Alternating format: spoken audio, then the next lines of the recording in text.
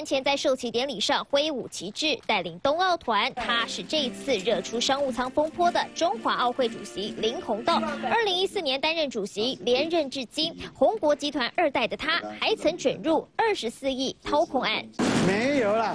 二零一五年第一时间，只有他的哥哥林鸿明被约谈。林鸿道走一步，驾驶豪华帆船，用小三通管道开溜到厦门。案件侦办到最后，检方竟也没发布后续结果。我接触的都是体育界，而且谈的也都是体育界的事情嘛。至于总领队蔡成威，在二零零六年到二零一四年担任主席，他是国泰集团二代，商界两人把持中华奥会十五年。网友质疑，体育界被财团绑架了吗？在台湾，你要办活动，你就必须要募款，因为我们第一个没有职业化，第二个就像我刚才讲的，市场这个很小众，那你必须要有人来捐款。我们讲的这个金主，所以金主很容易就成为这一个呃体育运动的主导者。体育人才养成不易，不少体育协会龙头都有有财力的政商界人士担任，协会不少都有家庭式或师徒制的派系握有实权。来到会员。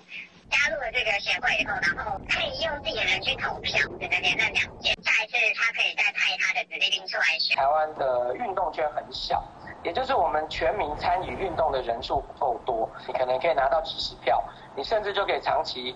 把持这个协会，尽管喊出改革，但需要资金扶持的体育产业始终无法摆脱旧有势力。十五年后仍由商界掌握主席龙头，网友大叹封闭体育界，恐怕人事陋习难改。三十位代表王英竹台北采访报道。